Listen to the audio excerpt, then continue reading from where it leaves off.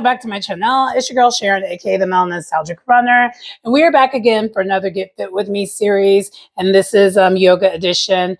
And today we're going to be doing a review of a YouTube content creator we haven't reviewed in a while, um, just because their channel that I've what I've noticed is actually focusing more on affirmations and speaking, manifesting, and speaking things into existence. Which side note I strongly believe in and strongly recommend if you need assistance with that. Um, I, I, just am someone who personally does that very, very well on her own. Like I, I understand that power of manifestation. And for those who follow what's been going on with me this year, you already know I've done that. But anyway, but that's not why we're here for this channel. They actually did post a yoga video. It's a five minute quick routine, I believe. And well, a little bit over five minutes, but it's called Yoga Energy, Yoga Energy Boost to start the day, um, mental clarity. So I imagine this one's going to have some breathing exercises in it, and it's going to be probably more of a sit down routine because that is kind of more her thing. Um, it's more sit down yoga, trying to, you know, basically make yourself present or grounding. A lot of her work is that. Anyway, and this is by Faith Hunter. I don't think I even said that. And Faith has been in the game for a long time. I've actually done my research and looked at more of her content. I was like, oh wow, she's been doing this for for a long time. So I would definitely recommend checking out her channel. But um, of course, per usual, I'll put her video link at the end of the video. But without further ado, let's get into the, the routine practice today um, is going to be primarily in the seated position, and you can choose how you want to be in the primary seated position. You can either sit on your yoga mat. Um, this can be, um, take place at your desk or just at um, a couch. Either way, but there's going to be a lot of breath work with this, um, with some yoga poses, but most of it is very much breath work. Um, hopefully, you enjoy the practice.